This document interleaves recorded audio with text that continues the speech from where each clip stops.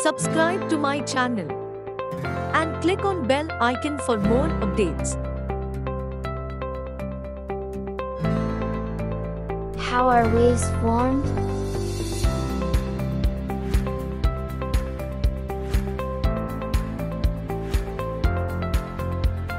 A wave begins as the wind ruffles the surface of the ocean. Ripples provide the surface for the wind to act on, which produces larger waves. Stronger winds push the nascent waves into steeper and higher hills of water.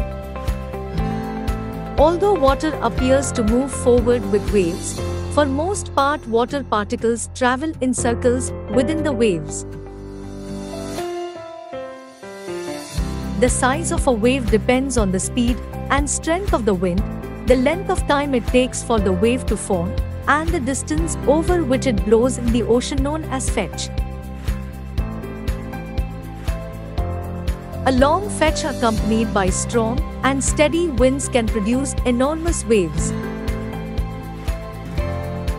The highest point of a wave is known as crest, and the distance between one crest to another is known as wavelength. Now you know how waves are formed. Please subscribe to my channel.